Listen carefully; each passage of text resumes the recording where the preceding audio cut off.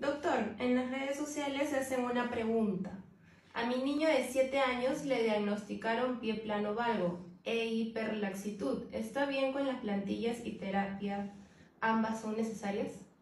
Ok, la hiperlaxitud significa que las articulaciones son muy laxas, es decir, son muy flexibles. Hacemos pruebas a partir de los 4 o 5 años para determinar si es que tienen hiperlaxitud y qué tan hiperlaxos son. Estos pacientes suelen tener pie plano, genuvalgo, es decir, las piernas en X, problemas posturales.